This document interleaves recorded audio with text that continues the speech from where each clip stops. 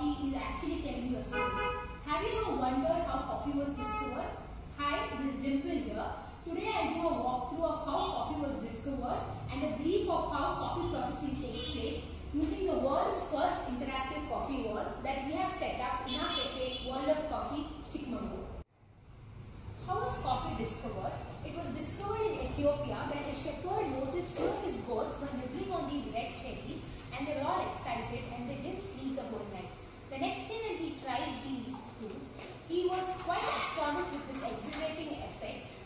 then on these were used as a local drink to stay up uh, for the whole night during the long prayers. Coffee has travelled all across the world. When did coffee come to India?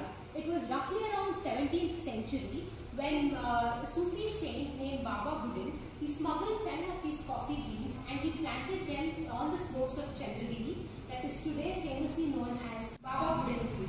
Karnataka accounts to 71%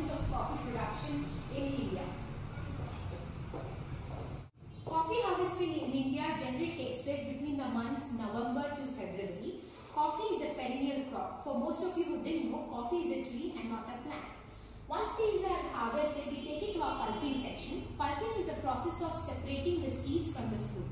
Once these are separated, they are sun-dried to maintain the temperature, to maintain the moisture up till 12%. Uh, these seeds are then sent